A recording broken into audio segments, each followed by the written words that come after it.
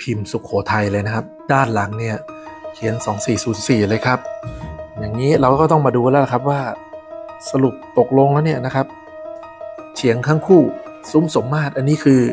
สไตล์ช่างสิบหมู่เลยครับใครไม่มีทำล่วงหน้าครับมีแต่ทำหลัง 2411 ไปแล้วด้วยซ้ำนี่นะครับ เชื่อได้ว่าสร้างทีหลัง 2408 ไปแล้วครับ และถ้าอยู่ในพิธีเดียวกันเพราะนั้นเนี่ยหมายเลขทั้งสองหมายเลขมีความสัมพันธ์กัน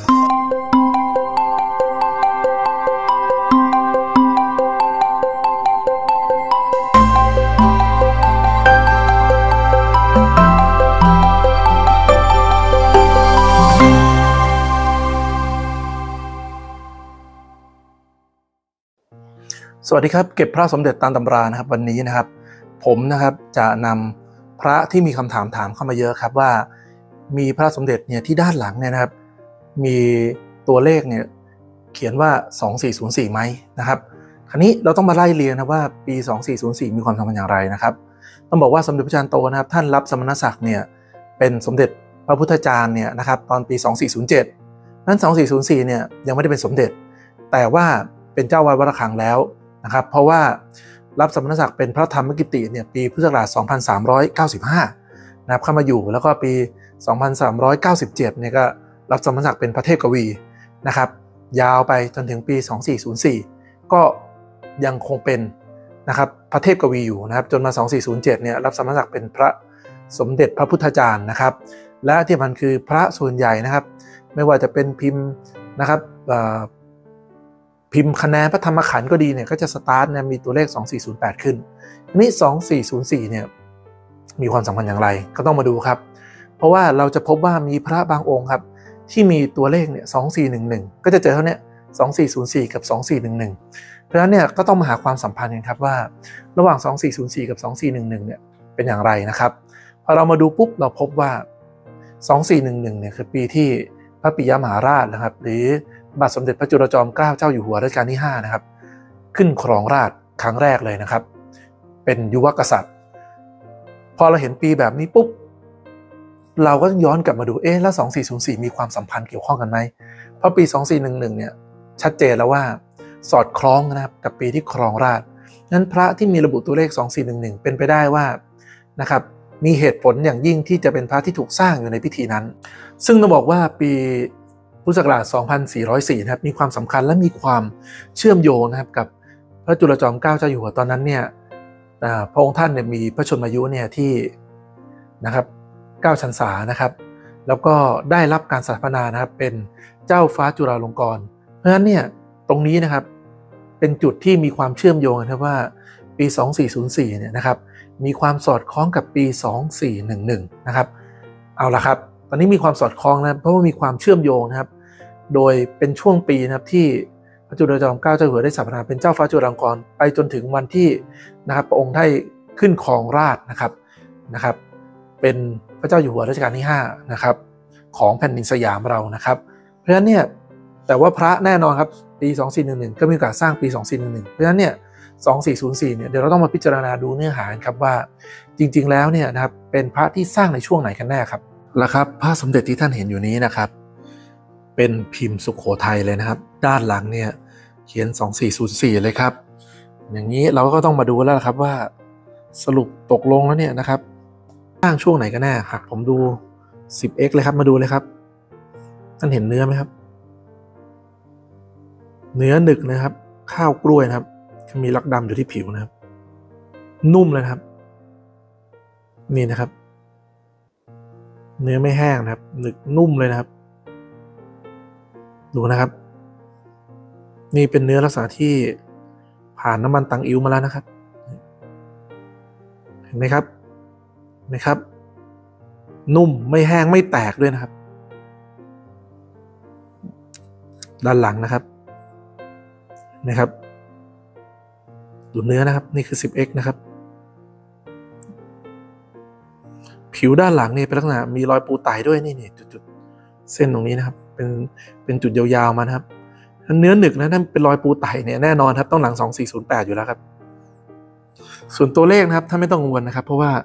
ในสมัยรัชกาลที่4นะครับมีนะครับหมอบัตเลเนี่ยเข้ามามีแท่นพิมพ์แล้วนะครับ มีการพิมพ์ประกาศเยอะแยะนะครับเพราะฉะนั้นเนี่ยตัวเลขก็เป็นตัวเลขในแท่นพิมพ์นะครับ ต่อมาครับเรามาดูนี่ครับสองสี่หนึ่งหนึ่งครับอันนี้เนื้อแห้งก็จริงครับ แต่เนื้อลักษณะนี้เป็นเนื้อสไตล์แบบ ที่เราเข้าใจรู้จักกันในลักษณะพระวังหน้านะครับ และพิมพ์ที่ท่านเห็นเป็นพิมพ์อู่ทองนะครับส่วนทรงนะครับ เป็นตัววีชัดเจนใบหน้าใหญ่นะครับ ฐานเขียงนะครับ เฉียงข้างคู่ ซุ้มสมมาตรอันนี้คือสไตล์ช่างสิบหมู่เลยครับ แต่ในหมู่บรรดาช่างสิบหมู่นะครับเดี๋ยวผมจะจำแนก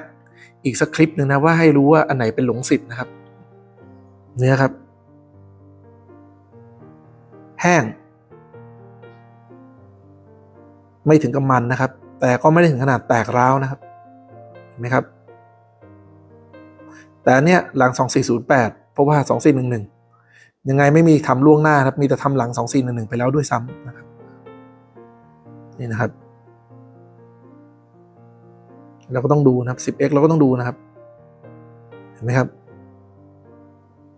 แต่แห้งนะครับ แก่ไปทางปูนนะครับ นี่นะครับ 2411 นะครับ นะดังนั้น 2 ปีเนี่ยมีความสัมพันธ์กันนะครับ ในความเป็นจริงเนี่ยสามารถสร้างในวาระเดียวกันได้นะครับ เป็นลักษณะที่ระลึกนะครับที่เกี่ยวข้องนะครับ เพราะว่าเลขปีเนี่ยมีความสัมพันธ์และ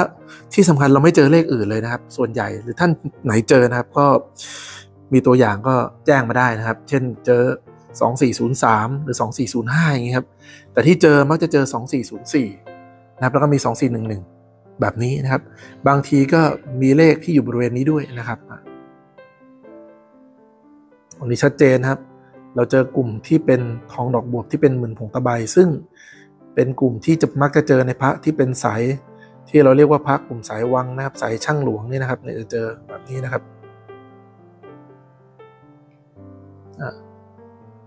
นี่นะครับ ดูต่อนะครับ คือพระลักษณะนี้คือเนื้อไม่ได้แบบแตกร้าวแห้งเหมือนที่เราเคยเห็นนะครับ นี่ก็ใช่นี่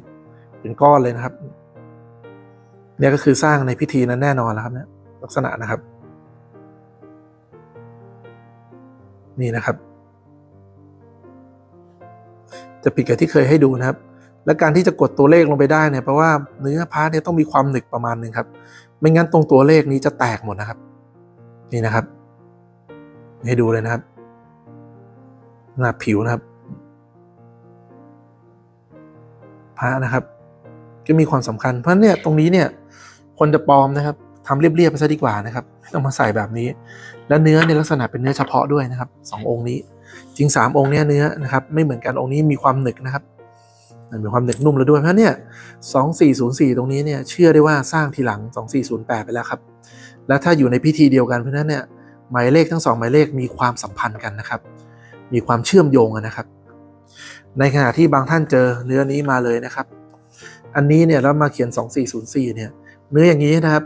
มีน้ำมันตังอิวแล้วด้วยนะครับ หลังๆแล้วด้วยซ้ำนะครับ จะสร้างเป็นที่ระลึกหรือพิธีใดก็ตามนะครับ แน่นอนครับนี่ไม่ต้องส่องกล้องจริงดูด้วยตาเปล่าก็เห็นแล้วครับเนี่ยเป็นเนื้อดินสอเหลืองนะครับ ผสมกระบวนการนี่คือเรียกว่าดีขึ้นเยอะแล้วด้วยนะครับเนี่ยนะครับ เห็นไหมครับมี หินดินเขียวเนี่ยดูชัดเลยมวลสารกระจายเต็มองค์เลยนะครับ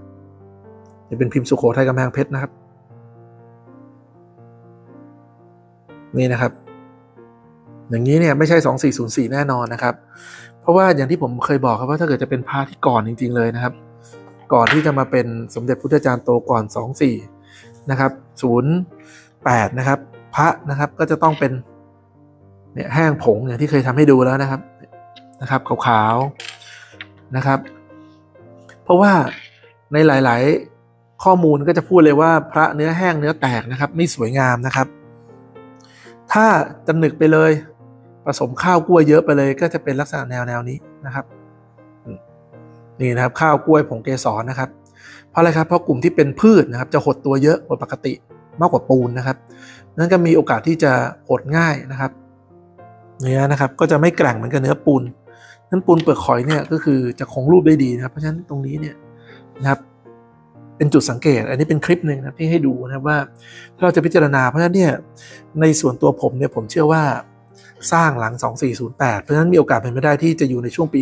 2411นะครับเป็นพิธีสำคัญนะครับ และตัวเลขทั้ง 2 ชุด ก็เป็นตัวเลขที่มีความสัมพันธ์ด้วยนะครับนี้เราจะทดสอบแม่เหล็กนะครับ ดูคุณสมบัตินะครับตรงนี้ตรงนี้ไม่เจอนะครับ ค่อยๆดูวิธีละจุดนะครับอ่าได้นะครับ ซึ่งที่ท่านเห็นนะครับ เป็นพระที่มีมาก่อนที่ผมจะทำคลิปแล้วด้วยนะครับองค์นี้บ้างนะครับเห็นไหมครับ นี่แม่เหล็กแรงสูงนะครับ พระที่ดูดไม่ได้มีเยอะนะครับ แต่ทำไมกลุ่มนี้ถึงตอบสนองนะครับ เราก็ต้องพิจารณาหลาย ๆ อย่างนะครับนี่นะครับ ตามมาเลยนะครับองค์นี้นะครับสองสี่หนึ่งหนึ่งนะครับ เรียกว่าพระถูกพิธีนะครับ ก็จะมีมาตรฐานในการสร้างนะในยุคนั้นนะครับ แต่อย่างไรก็ตามพระฉะนั้นพระสมเด็จมีหลายเนื้อครับ นี่นะครับ เห็นไหมครับ เราต้องพิจารณาเป็นเนื้อเนื้อไปนะครับ ทั้งหมดนี้นะนี่คือความสัมพันธ์นะครับ และความสอดคล้องที่เราพูดถึงนะครับ ครับอันนี้เนี่ยเป็นคลิปง่ายๆนะครับสบายๆ ให้ท่านดูว่าเราดูเนี่ยต้องวิเคราะห์นะครับ จริงๆ พระก็ผ่านการตรวจหมดแล้วนะครับ อันนี้ผมยกมาเป็นตัวอย่างให้ดูนะเพื่อให้เราพิจารณาด้วยบางทีเนี่ยไม่ใช่ว่าเราเห็นตัวเลขปุ๊บเราบอกเลยสร้างปีนั้น ปีนี้อาจจะสร้างทีหลังก็ได้ครับนะครับพระต้องแยกนะครับสร้างเมื่อไหร่ช่วงไหนต้องอ่าน ดูประวัติศาสตร์ ดูความเป็นไปได้ดูเหตุดูผลนะครับ แล้วก็